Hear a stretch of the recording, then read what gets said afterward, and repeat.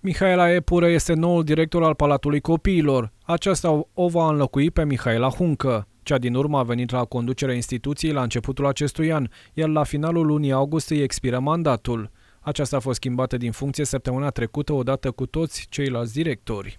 În primul rând vreau să spun că mm, abia aștept să îmbrățișez această provocare, să-mi cunosc mm, colegii și să învăț ceva de la ei și să le promovez munca mm, absolut minunată pe care eu o fac acolo, atât la nivel local cât și județean. Mihaela Epure este profesoară de engleză la Liceul Pedagogic Nicolae Iorga din municipiul Botoșani și realizatoarea emisiunii Instituția Profesorului de la Somax TV.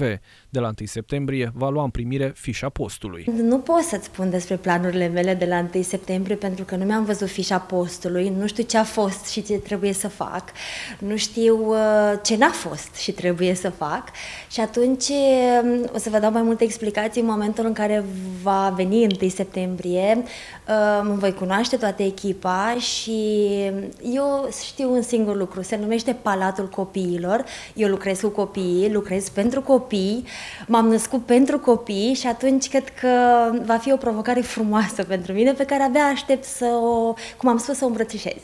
Mihaela Huncă se va întoarce la catedră pe postul de profesor de matematică la liceul cu program sportiv din municipiul Botoșani.